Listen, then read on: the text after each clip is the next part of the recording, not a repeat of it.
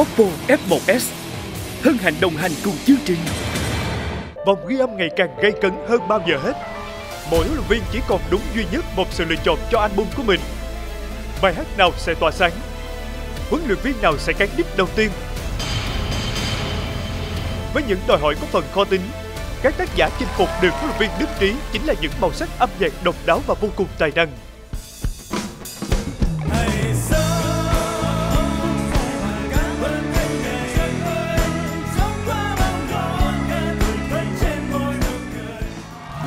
Trí. Làm việc với nhiều cô gái chân dài rồi còn anh thì chưa. Không phải anh làm việc với em bởi vì chân em dài. Anh không thể nào xây dựng được một ngôi sao nếu như họ không có tố chất.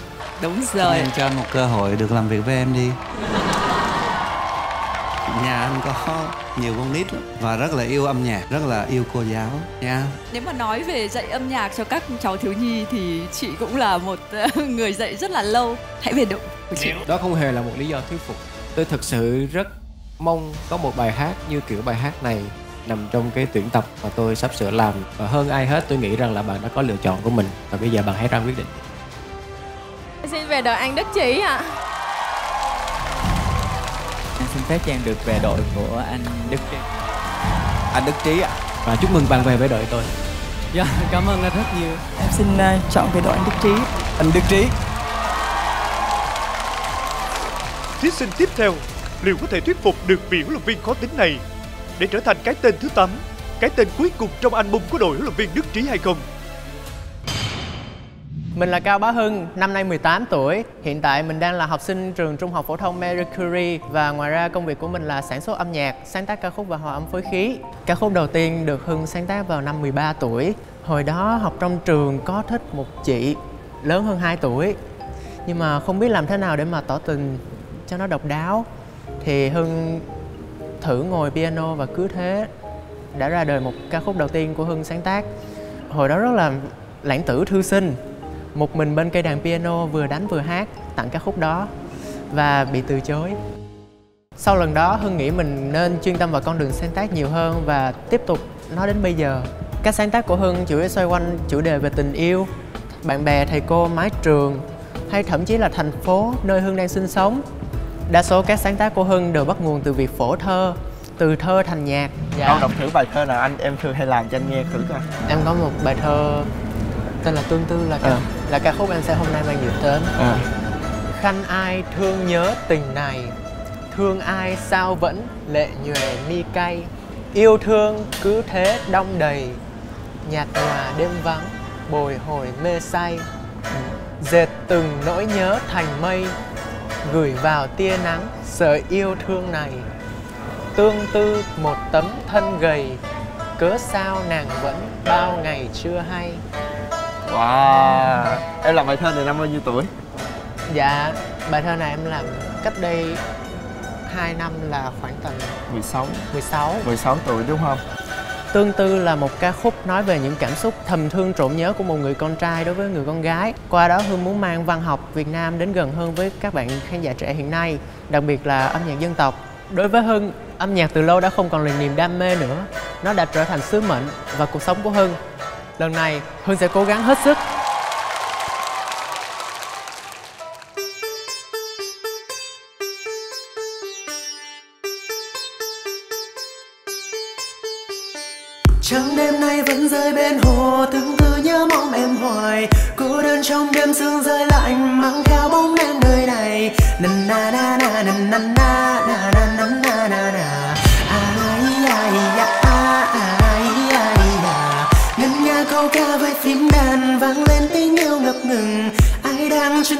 khăn hồng Yêu thương xanh đôi mai này. Na na na na na na.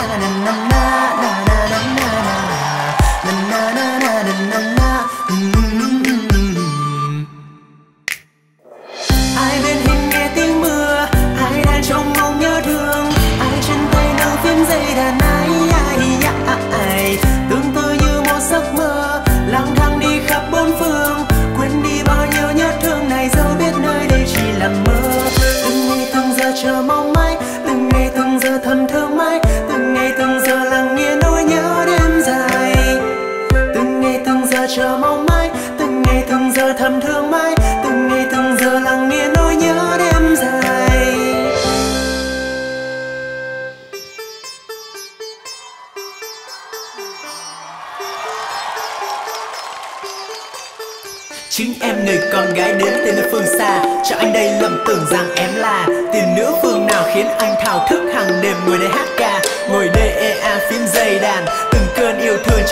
tràn. Ôm gánh từng từ một mình đêm vắng thêm hoa anh cất bước nhớ nàng. Trăng đêm nay ngắm nhìn em bên cửa mây trôi gió khẽ người đây bên lửa. Từng từ trong anh từng đêm thao thức tình yêu dành em như ngọn lửa thẹn nỗi cô đơn riêng anh từng ngày. Nhớ em bất kể đêm hay ngày, đừng nga khúc dao phía nguyệt cầm một mình anh vẫn mãi nơi này.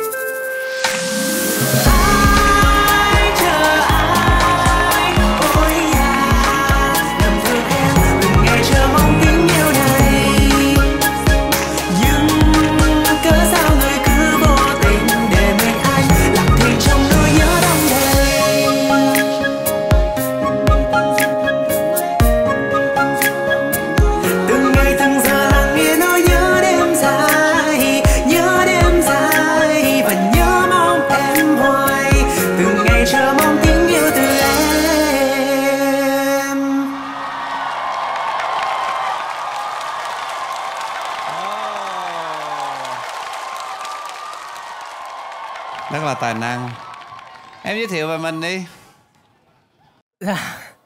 Con xin chào bốn vị huấn luyện viên và toàn thể quý vị khán giả đang có mặt tại đây ạ. Con tên là Cao Bá Hưng, hiện tại con là nhạc công biểu diễn đàn tỳ bà ạ. Ồ Con bao nhiêu tuổi rồi? Dạ con à, năm nay 18 tuổi ạ. Ồ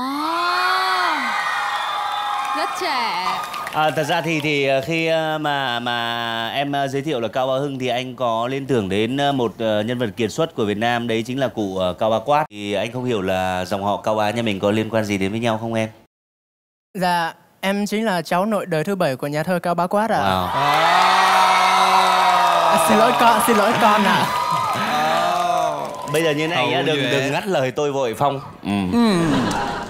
Thật ra thì thì là một cái niềm ờ, rất là tự hào. Cái mà, gọi là, dân gian đương đại chính là cái vừa rồi của của em đấy. Chất liệu âm nhạc em khai thác rất là tốt. Vì với 18 tuổi thì phải nói là như thế này là rất là tuyệt vời rồi. Mà anh cũng là một trong những người gặt cần đầu tiên bởi vì anh thật sự là thích cái chất liệu âm nhạc của em thích cái cái cách em thể hiện. Và anh nghĩ rằng âm nhạc dân gian ấy thì đôi khi mình không cần phải áo thay khăn xếp. Bởi vì chính trên một cái tiết tấu rất là mạnh như vậy nhưng cái chất dân tộc nó vẫn bộc lộ ra trong em. Và lại thêm một câu rất là cũ từ đầu đến giờ là nếu về với đội của tôi thì chắc chắn cái phần văn chương của em sẽ được đẩy lên đến tận cùng. Cảm ơn em. Em xin cảm ơn ạ. anh sơn. Anh sơn anh anh chắc anh có vấn đề về về trí nhớ chứ em là người bấm đầu tiên mà à thì thì tôi nói là tôi là một trong những người bấm đứng đầu đầu tiên tiên sao một trong những được hình như anh là bấm thứ ba đấy. Ờ, Tôi cũng Con đồng ý nha, với cả chú nhạc bấm sĩ đầu Lê tiên. Minh Sơn. À, tôi cũng đồng ý với nhạc sĩ Lê Minh Sơn đó là sở dĩ tại sao tôi lại là người bấm sau cùng vì là tôi muốn nghe toàn bộ cái bài hát của em. Thế nhưng mà quả thực là tôi cũng háo hức quá tôi muốn biết được là cái người sáng tác bài này và uh, một cái người hát bài này như thế nào. Thế nhưng người bấm sau cùng hay người đầu tiên thì dường như nó cũng không quan trọng lắm. Mà cái chính là cái người sẽ hướng em hướng dẫn em ra sao giúp đỡ em. Nếu mà không quan trọng thì anh sơn đâu có nói là một trong những người bấm đầu tiên đúng không? Ờ, người đâu bấm, bấm đầu tiên là bấm đầu tiên chứ không phải một trong những đúng rồi bấm đầu tiên là bấm đầu tiên. Bấm đầu tiên nó quan trọng lắm á. Anh à thực sự đấy. Không thật rất rất là quan trọng thật ra thì thì em là một cái của quý của cái chương trình như thế này rồi. Bởi vì cũng rất là hiếm có những cái tiết mục nào mà mà tất cả bốn chúng tôi đều cảm thấy rất là sung sướng. Và cái điều đặc biệt nữa, tức là em còn rất là trẻ 18 tuổi, và đang đi mày mò, đang đi định hình. Và đây, theo tôi, chính là con đường đi của em. Em cất lên tiếng nói thế hệ của em. Và đặc biệt là dòng họ cao bá là là cái mà về văn học, về văn chương và phải nói là quái kiệt. Ngày ngày xưa khi mà đọc ờ, đọc về về gọi là thánh thánh cao bá quát thì đúng là kinh khủng lắm nhá em nhá bây giờ thì Bữa ờ, nay- để nhường lời cho nay mới mới nhạc sĩ biết hải phong bữa nay Dạ. mới biết là người bấm thứ ba là một trong những người bấm đầu tiên lạ ghê không lẽ như vậy là người ờ, thi cuộc thi xong về thứ ba cái một trong những quán quân à như vậy thì nó nó nó không không đúng anh chị ha mình cùng phe đi Dạ em nói trước hay là anh nói trước? Anh Anh, có trước. nhiều điều muốn nói lắm bởi vì là anh lại bất đồng quan điểm với lại hai vị này. Chú thì chú thấy là hợp lý khi chọn cái bộ trang phục này bởi vì chú thích nhất cái phong thái khi đọc rap và với cái quạt trên tay và diễn cách cái đó chú để ý rất nhiều bởi vì là à, chú rất thích cái cách đó. Bởi vì à, nó nó rất là là là là hợp lý. Và hơn nữa chú rất là ngại khi mà đọc rap là bắt đầu bạn nào cũng như thế này. Như thế này. Và con đã không làm cái đó đúng không ạ? Tức là đã tránh được cái cái cái cái động tác này và và và hưng đã tặng cho cái động tác rap đó theo một cái cách khác. Điều đó nó thuyết phục chú. Điều thứ hai là tôi đã từng trải nghiệm làm việc với nhóm bốn chị em của hưng. Đã biết các bạn này đều là những người chơi âm nhạc dân gian. Và như vậy thì cái việc đưa âm nhạc dân gian vào đây, điều đó nó không làm với chú ngạc nhiên. Nhưng làm chú ngạc nhiên ở cái chỗ là nó rất là tự nhiên với cái tiết tấu trên đó. Và chú muốn hỏi rằng là ai làm cái beat nhạc đó ban nhạc làm hay là hưng tự làm cái beat nhạc đó? Dạ thưa chú, ca khúc vừa rồi là bản phối do con thực hiện ạ. tức là tức là bạn à, là hưng làm trên trên trên phần mềm luôn. Là Vâng ạ, vâng ạ, con làm trên phần mềm. logic hay là phần mềm gì? Dạ, Logic ạ. là logic là hợp với anh Đức Trí rồi. Anh logic là phải về đây rồi. Logic là phải về đây rồi. Cho nên Ờ, à, không. Ờ, nói thật lòng nha.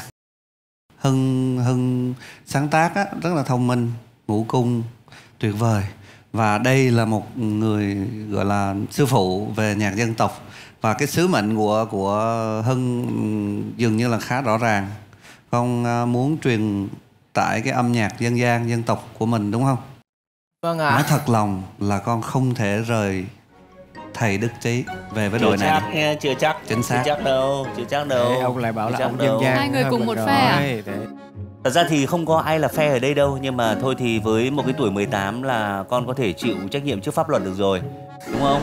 Thế thì ờ, chúng ta cũng không nên là tác động ờ, quá đối với một cái tuổi mà đã trưởng thành. Và hãy để tiếng nói của người trưởng thành cất lên nhỉ? Con có thể về đội của chú cũng được đúng không anh chị đúng không anh chị giặt ngay sau lưng đúng không? Giặt là ở ngay sau lưng không có đôi đâu xa. Thôi được rồi con ạ, bây giờ như này này cho Con về đội của anh Hải Phong đi. Vì ờ, tôi nghĩ là như vậy là rất là tốt Rất là tốt cho cho tất cả chúng ta. Bởi vì là cái hòa khí của huấn luyện viên ấy Thì cũng phải làm giảm bớt lại Và cho nó nó nó nó nó, nó, nó có hòa khí một chút Chứ bây giờ cứ căng thẳng quá như này Tức là được rồi. anh Trí không nhường rồi đấy. Phong đúng không anh chị Anh Trí nên thế đấy anh Trí ạ. Anh không nhường đúng không anh chị anh có kịp nói gì đâu thôi con quyết định đi Dạ, con xin cảm ơn bốn vị huấn luyện viên đã bấm chọn con ạ. Ngay từ lúc đăng ký chương trình, người mà con nghĩ chắc chắn sẽ về đó là